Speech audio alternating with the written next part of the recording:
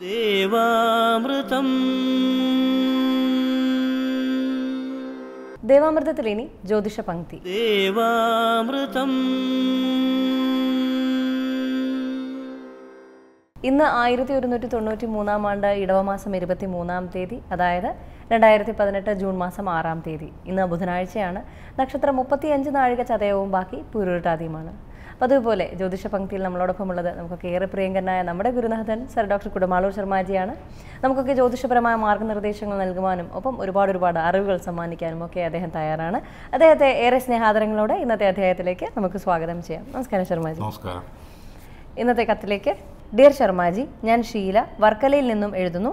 എത്ര കടുത്ത വിഷയങ്ങൾക്കും പ്രതിവിധികൾ നിർദ്ദേശിച്ച് സമാധാനമേകുന്ന ഈ പ്രോഗ്രാം കഴിവതും മുടങ്ങാതെ കാണാറുണ്ട്. മകന്റെയും വൈഫിന്റെയും കാര്യം അറിയുവാനാണ് ഈ കത്ത്. രണ്ടുപേർക്കും നല്ല ജോലി ശമ്പളം എന്നിവയുണ്ട്. മൂന്ന് വർഷമായി വിവാഹം കഴിഞ്ഞിട്ട് കുട്ടികളായിട്ടില്ല. ഒരു പ്രാവശ്യം അബോർഷനായി സകല ഭാഗ്യങ്ങളും കയ്യെത്തും ദൂരത്ത് നഷ്ടപ്പെടുകയാണ്. എന്താണ് ഇതിനൊക്കെ പരിഹാരമെന്നാണ് ചോദിച്ചിരിക്കുന്നത്.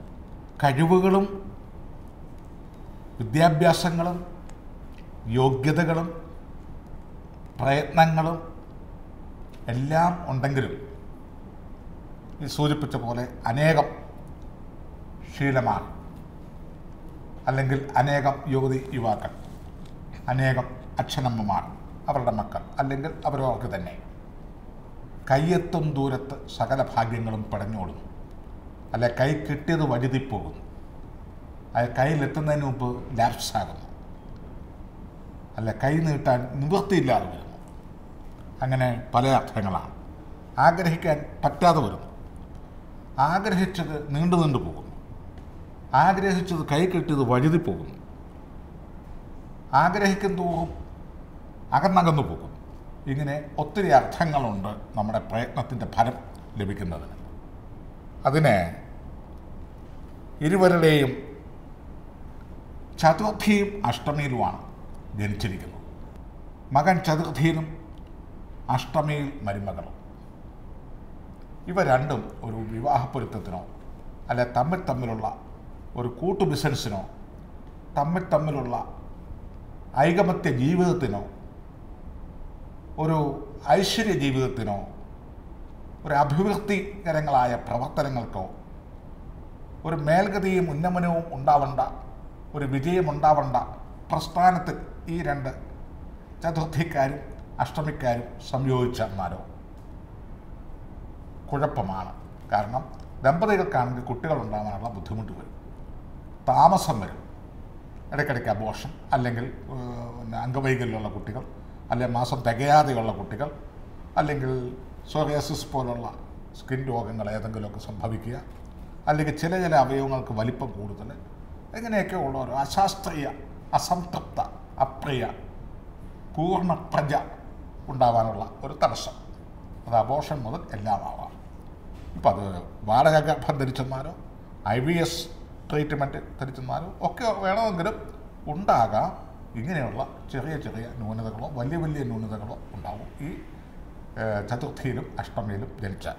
കൂടാതെ രോഹിണി നക്ഷത്രവും ജ്യോതി നക്ഷത്രവുമാണ്. രോഹിണി നക്ഷത്രം ഇടവരാശിയും ജ്യോതി നക്ഷത്രം തുലാൻ രാശിയിലുമാണ്. പല എപ്പിസോഡുകളിലും സോണിയാജി തന്നെ വായിച്ചു കേൾപ്പിച്ചിട്ടുണ്ട്. ഇടവം മിഥുനം കർക്കിടകം ചിങ്ങം കന്നി തുല. ആകാൻ രാശി. തുലാൻ രാശി മുതൽ തുലാം വൃക്ഷികം ധനു മകരം കുംഭം മീനം മേടം. ഇടവം എട്ടാം രാശി. അങ്ങനെ ഇടവം തുലാൻ രാശിക്കാരെ ഷഷ്ടാഷ്ടമം എന്ന സംസ്കൃത പദത്തിന് ഇടയാവും. അതായത് ഷഷ്ടാഷ്ടമ ദോഷമാണ്. വെറും ഒരു ഷഷ്ടാഷ്ടമ ദോഷമാണെങ്കിൽ ഇത്രയും കാഠിന്യമില്ല. അതിന്റെ കൂടെ ചതുർദശിയും അഷ്ടമിയും കൂടെ വന്നപ്പോൾ കൂടുതൽ ദോഷമായി. എന്നാൽ ഈ രണ്ട് നക്ഷത്രങ്ങൾ തങ്ങളിൽ ഇതിനേക്കാൾ മാരകമായ ഒരു ദോഷമുണ്ട്. വേദം എന്നത് വേദം എന്നാൽ മുറിഞ്ഞു പോകുക എന്നർത്ഥം. അല്ലെ മുറിക്കുക അല്ലെ വേർപെട്ടു പോവുക വേദിച്ചു പോവുക അങ്ങനെ വേദദോഷങ്ങളും തിഥിദോഷങ്ങളും നക്ഷത്രദോഷങ്ങളും ഷഷ്ടാഷ്ടമ ദോഷങ്ങളും വിശിഷ്യ ദേവഗണവും അസുരഗണവുമാണ് ഈ രണ്ട് നക്ഷത്രങ്ങൾ അസുരത്വത്തിൽ നിന്ന് ദേവത്വത്തിലേക്കുള്ള സ്വഭാവം പെരുമാറ്റം ജീവിതാനുഭവം പാരമ്പര്യം ദേവത്വത്തിൽ നിന്ന് അസുരത്വത്തിലേക്കുള്ള സാഹചര്യം ശാരീരിക മാനസിക സാമ്പത്തിക വൈകാരിക ദാമ്പത്യ ഇടപെടൽ. അതാണ് ദേവനും അസുരനും തമ്മിലുള്ള ദേവത്വവും അസുരത്വവും എന്താണെന്നുള്ളത് പ്രേക്ഷകർക്കെല്ലാം അറിയാം. അപ്പോൾ ഗണദോഷം വേദദോഷം പിന്നെ അന്തിമ രജു എന്ന് പറയുന്ന ദോഷവും കൂടിയുണ്ട് കഴിഞ്ഞ എപ്പിസോഡുകളിൽ രജുവിനെ പറ്റി കാണിച്ചു തന്നതാണ്. അശ്വതി മുതൽ രേവതി വരെ എണ്ണുമ്പോൾ അശ്വതി ഭരണേ കാർത്തിയാരോഹണി മകേരൻ തിരുവാതിര അശ്വതി ഭരണേ കാർത്തിയാരോഹണി അന്തിമവരൻ മകൈരം തിരുവാതിര പുണർതം പൂരമായില്യം മകം പൂരോത്വം അത്തം ചിത്ര ചോതി.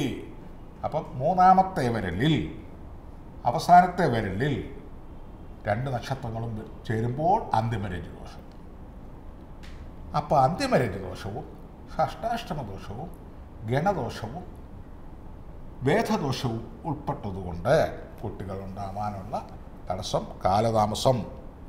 പിന്നെ അയച്ചു തന്ന പ്ലാനിനകത്ത് വാസ്തു സംബന്ധമായി വരുണൻ എന്ന സ്ഥാനം.